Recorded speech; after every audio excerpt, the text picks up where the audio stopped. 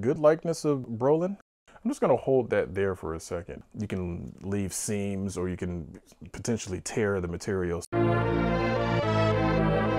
is in the box? Welcome to this week's episode of What's in the Box. I'm your host, GQ.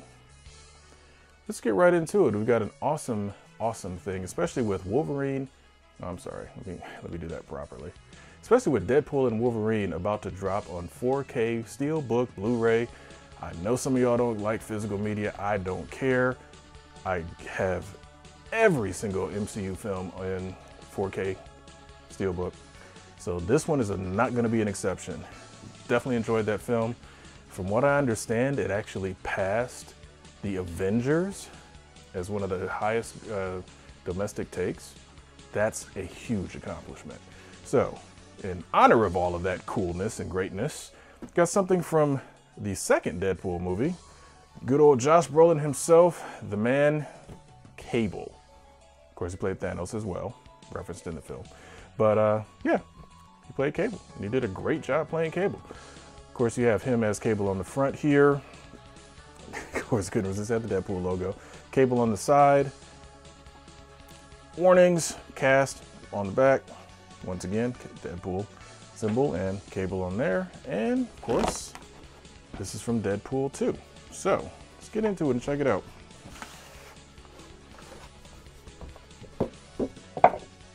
This is another one that I picked up in Vegas. I know you guys are tired of hearing about Vegas, but it's awesome. Got great collectible stores out there.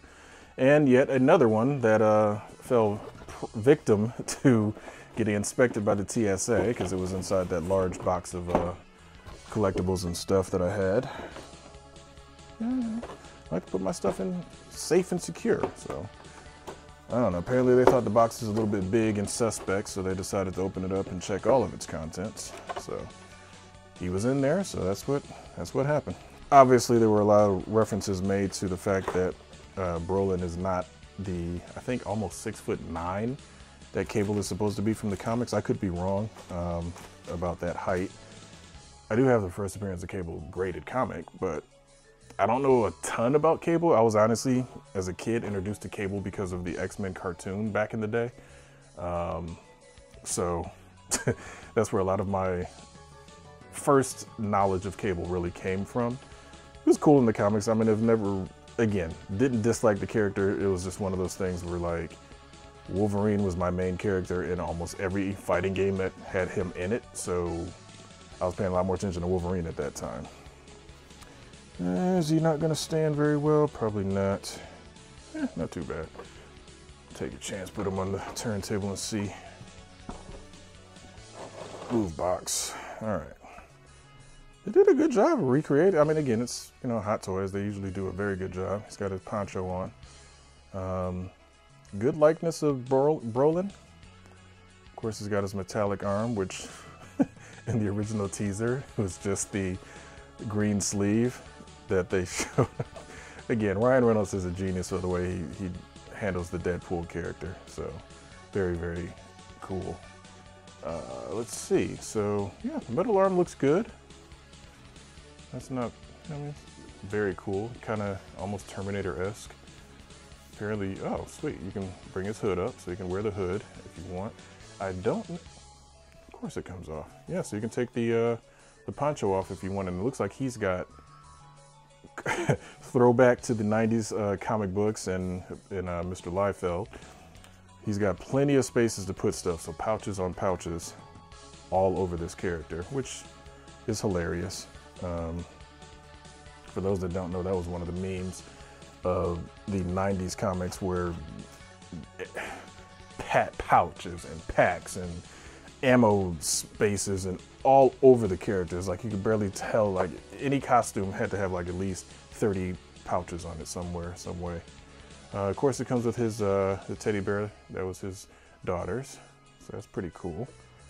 And we all saw the movie. He's got to have an assortment of weapons, and they do not disappoint in that department.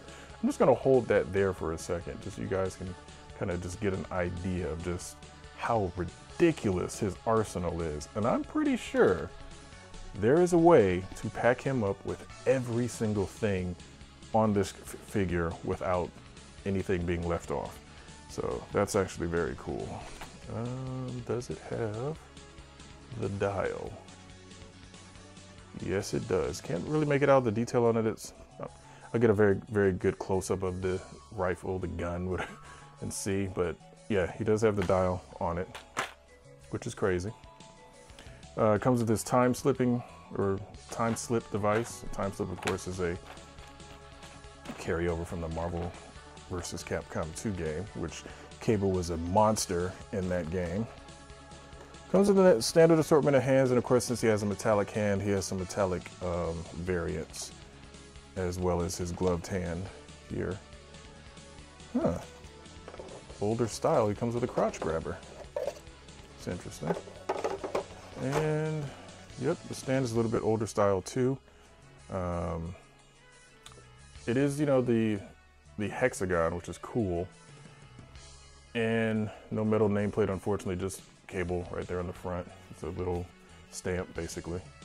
But yeah, it has his um, his time device, basically, as the artwork on the base. So that's pretty cool. looks it looks good. All in all, not too bad. There is a deluxe version of this that I think comes with a um, his energy shield that he had. I'm not big on displaying a lot of the effects. Um, accessories and that sort of thing with these six scale. As you can see, a lot of mine are in the kind of standard museum pose. Because the problem is with some of the dynamic poses, if they have um, costumes, basically, or you know anything that's kind of stretchy, you can leave seams or you can potentially tear the material. So the museum pose, as boring as it might look for some people, is the best way to protect the uh, the figure itself. So I don't need a little bullet shield for him. I think he looks cool as is. Once I get all the uh, accessories put on him, get some good photos of them. take a look from there. But all in all, very pleased with this. Um, again, same store, Brad's Toys and Collectibles, who probably should be sending me a paycheck by now for as many times as I've um, plugged them because that's where I'm getting all this cool stuff in Vegas. I'm just going to be 100% honest. They are one of the better uh, chain stores actually out there. But um, I actually picked this up at their main location, which is um, on the, I want to say that would technically be the south end of the strip, like way down past the, you know, all the way past the strip basically. Uh, but usually one of my first stops when I get into Las Vegas. So those guys, you know, great store, huge selection. So, you know, great group of guys that work there. Um, so yeah, I'm, I'm, definitely pleased every time I, I do go out there and and shop their stores. As you can see, I'm always bringing back stuff to unbox. So yeah, that's pretty much what was in the box today. Um, you guys are enjoying this content, please leave, consider leaving a like, you know, subscribe to the channel. Helps the, you know, the algorithm and all that other sort of stuff so we can you know, get some more views and all that other great stuff. And also let me know how I'm doing. Let me know if you guys would like me to um, add anything to this, change how it's done a little bit you know, let me know. Just give me some feedback. Let me know how, what you guys are thinking of the content so far. And also consider um, if you're not busy on a Wednesday evening, uh, check out the Culture Junkies live show, which is at 9 p.m.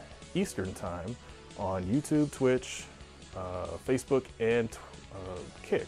Yeah, Kick is the other one. So yeah, great show. We have a lot of fun on that show. Me and the guys chopping it up about a variety of topics. And also, there's a live chat going on so you guys can put your comments in, bring up interesting topics and different news and little interesting tidbits and topics that you guys would like to talk about. Talk about it right there live on the show. So once again, for Deadpool 2 from Hot Toys, 1/6 scale cable. I'm GQ, and I'll see you guys next time.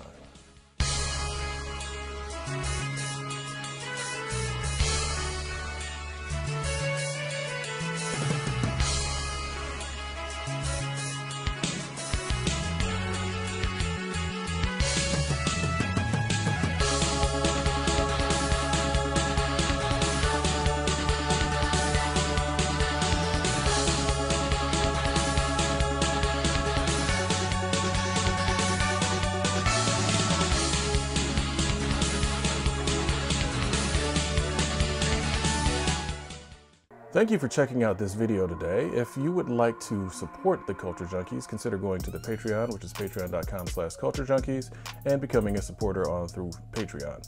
You can also, if you enjoyed the content, please consider giving us a like or leave a comment on the video. Let me know how I'm doing. Let me know if there's anything that can be improved or changed. And also, if you would like to see more of this content, check out the video on your left for more unboxing videos. And if you want to check out the live show, our latest episode is right there on your right.